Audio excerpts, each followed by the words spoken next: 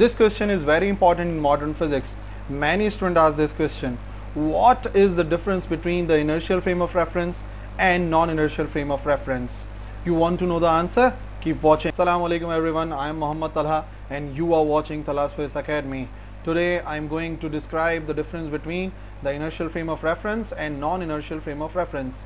Let's see what is mean by the inertial in the inertial frame of reference. This word is derived from Newton's first law of motion which is also known as law of inertia. According to that law, uh, a body continues state of rest or uniform motion unless it is acted upon by an external unbalanced force. This means this law is applicable to only two states that is the state of rest and uniform motion. And according to this definition, the inertial frame of reference is the frame of reference which is either in a state of rest or in uniform motion. Second point, the law of inertia and all the Newton's laws of motion are applicable to the inertial frame of reference.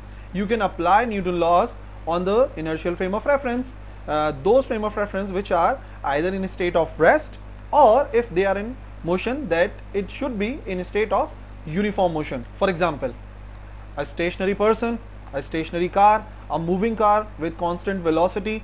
Another example is the example of paratrooper because it moves with the constant velocity.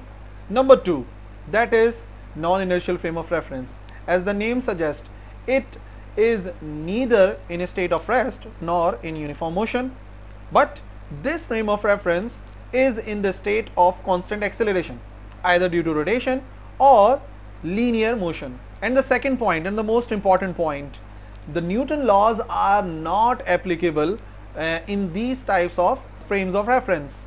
In these types of frame of reference, if you want to apply the Newton laws, then a force must be introduced which is known as pseudo force. The examples of these types of uh, frame of reference are a body moving with constant acceleration, a car having constant acceleration for certain time, then that certain time it is a non-inertial frame of reference. And a common example, a free falling body.